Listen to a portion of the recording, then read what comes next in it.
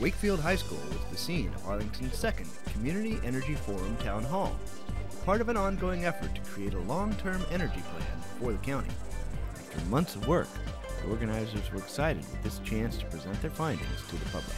We are here to present the preliminary recommendations of Arlington's Community Energy Plan. We're hoping to get good feedback and healthy dialogue from the public about some of the recommendations we're making to reduce Arlington's carbon footprint. And this is something we need everyone in the community to participate in, whether you live in a single family home, in a multi-family apartment or condo, whether you work in a big commercial building in Arlington County.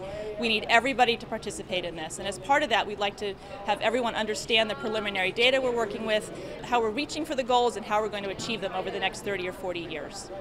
Tonight's our second of two energy town hall meetings where the Community Energy and Sustainability Task Force is coming out to the community and uh, asking for their opinions, their thoughts, their ideas as we move this process forward to create a community energy plan.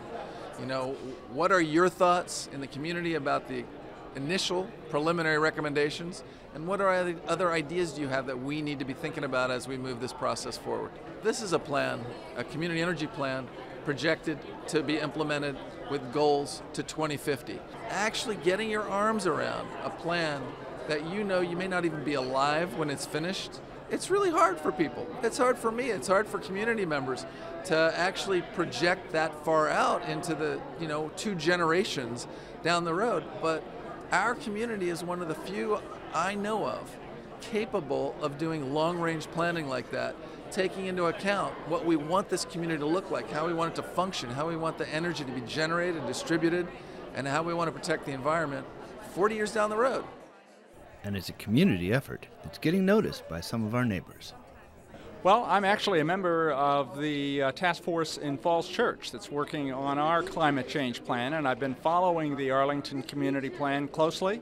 It's a terrific plan. We'd very much like to coordinate our efforts with Arlington and uh, follow the leadership that they're providing.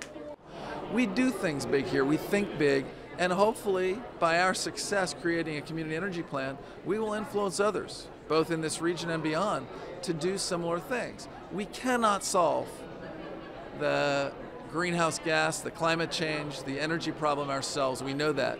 But we can create a much smaller carbon footprint and a much more competitive office, commercial office sector, business sector, lower prices for tenants. We can do all that right here in our own community, make our contribution to the environment, and lead by example and encourage others to do the same.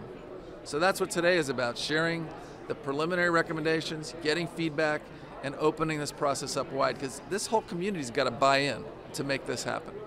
If you would like more information, we have a very um, useful website, arlingtonva.us backslash energy plan. You can find our preliminary recommendations there. You can find all sorts of um, data and information that we've um, accumulated over the last nine months. Um, and we'd be happy to hear from you. There's a comments link on that webpage as well.